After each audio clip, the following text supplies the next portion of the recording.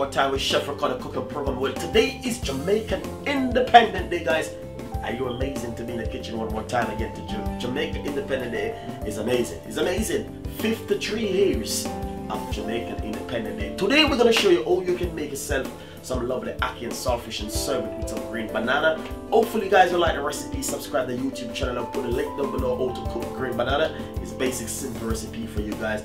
So happy Jamaican Independent Day and hopefully you guys will have, have fun, enjoy yourself. And this is from Chef Ricardo and the team. Remember to get a copy of Chef Ricardo cooking book book. I don't know, there's a lot of Jamaican back home now that's gonna be celebrating today and you know I mean having a great time. So guys, hopefully you will have a great time and remember the and saltfish is there for you. It's a Jamaican Independent Day and it's a Jamaican dish. You don't have to do that, you can do different stuff uh, different idea. They are the YouTube channel for you guys. So hopefully guys, I want to say happy Jamaican Independent Day one more time from Chef Ricardo and the team. Hopefully guys will have a wonderful time. Enjoy yourself, eat a lot of food and celebrate Jamaican Independent Day. One love from Chef Jamaica, we love you. All over the world, we love you.